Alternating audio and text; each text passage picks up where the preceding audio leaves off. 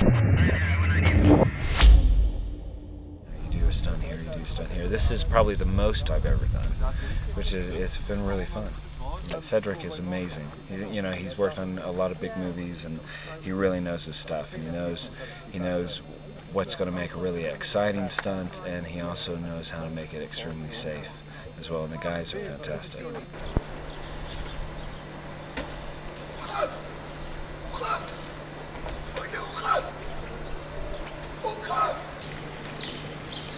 They've been good. They've been hard. I mean, I've taken, I've got battle scars all over my hands and stuff, but you know, it's like a boy's dream.